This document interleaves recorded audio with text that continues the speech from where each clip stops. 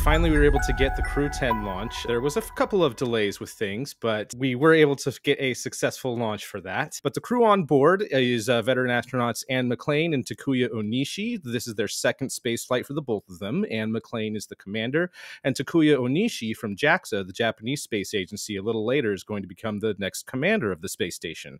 They're also joined by the first timers Nicole Ayers and Kirill Peskov, both flying for the first time. Originally, they were supposed to launch on one of the new crew vehicles that SpaceX is developing that hasn't flown into space yet, but they needed a little bit more time to make sure that everything would fly well with the vehicle and that they wouldn't have any problems, which is perfectly fine. I would rather them take as much time as they possibly need with a crewed vehicle.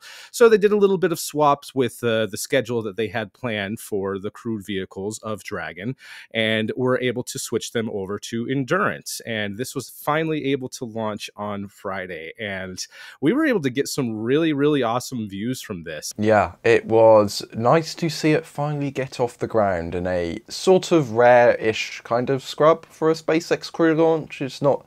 It's something that has happened before, but uh, again, you know, the, the last few flights, once SpaceX has gotten pretty much to that, that gate, that T minus 40 minutes of are we going to go into fueling or not, most of the time, if they have crew on board, they have managed to get through that gate. Obviously, on the first attempt, they weren't because of that hydraulic issue. So they had to scrub, disembark, go back to the crew quarters, chill out for 48 hours, and then tried again on Friday night. But it was a very, very beautiful launch. Some of the burn back maneuvers were just incredible, and this looked just as good as any of the Starship launches that we've been seeing recently. So well done to everyone at SpaceX who were able to provide us with some of these amazing views.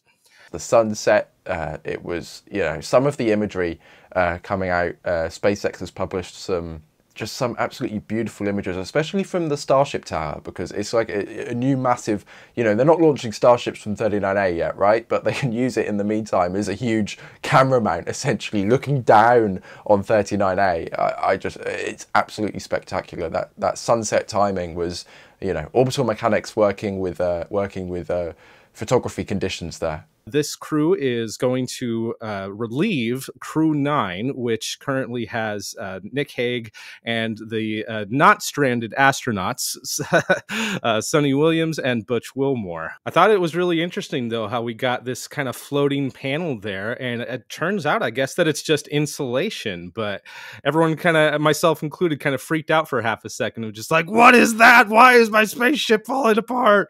Yeah, it's like like uh, foil backed or whatever. That's right, yeah. 28 hours later, this crew capsule was able to rendezvous with and dock to the International Space Station.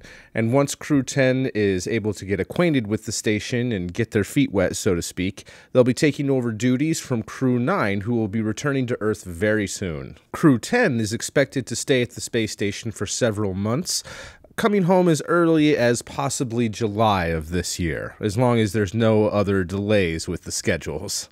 It was really cool though to see the uh, um, uh, the crew. There was something interesting after the docking that I wanted to share as well.